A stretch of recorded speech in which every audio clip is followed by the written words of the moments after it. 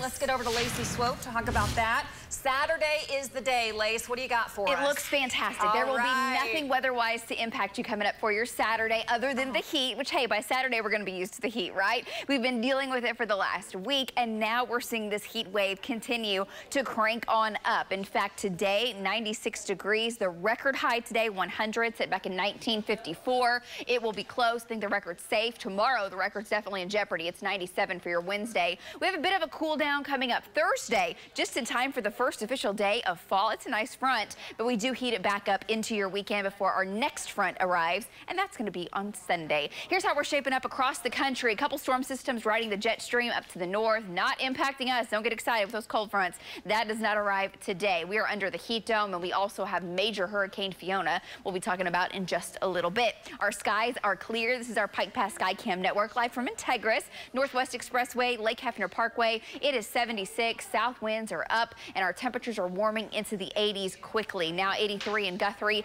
82 in Kingfisher, northwestern Oklahoma, and even the northern sides of the metro could top out close to 100 degrees again today. And it's muggy. You can feel the thickness in the air today. 68 degrees is the dew point value, and you get dew points in the upper 60s and low 70s. That is muggy for sure. We've got dew points in the 70s down across southern Oklahoma. So there's already a heat index to talk about. It feels like the mid, even upper 80s in portions of Oklahoma here at 9:15 in the morning. Our live wind gusts 5 to 15, some gusts to 25 in the far northwest. And through the day today, we warm into the 90s at noon already and 96 degrees by 3 o'clock. Southwest winds at 10 to 20. So here are the forecast highs for later today. Ponca City approaching 98, 96 in Stillwater, 96 in Ardmore, mid upper 90s all across the west. And this very warm, humid air mass has made it from the Gulf all the way up now into the Midwest, Iowa, Des Moines, setting at 79 degrees, 82 in Kansas City. Of course, the Rockies much cooler. You're getting to the high elevation to find that.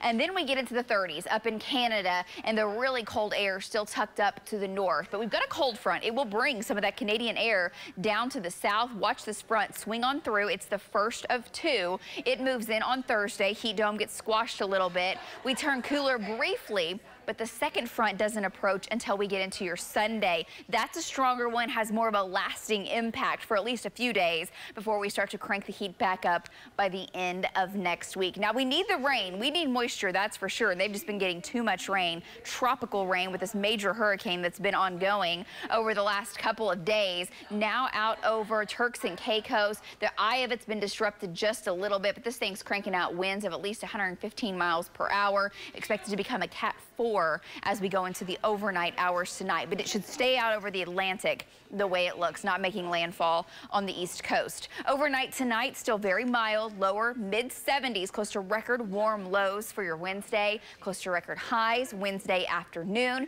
But here comes the front. By tomorrow afternoon, this thing's going to be moving into the panhandle, and it will have a chance to bring a few showers and storms up near Guymon. And then as it makes its way into the main body of the state tomorrow night into Thursday morning, there's a slight chance of a shower, expecting most locations to stay dry, and we look dry here in Oklahoma City. The front swings on through, and here's your Thursday. It will feel better. Lower humidity, a north wind, 70s and 80s along and north of I-40. South of I-40, still holding on to summertime, mid, upper 80s, and even 90s in the far southeast. And we do start to warm it back up as we make our way into your Friday. So Friday morning in the 50s, Friday afternoon, 90s, very hot into your Saturday. And then Sunday, here comes the cold front with a chance of rain at 20%. And then we see lows in the 50s. It'll feel great next week to start off. Highs only in the low 80s.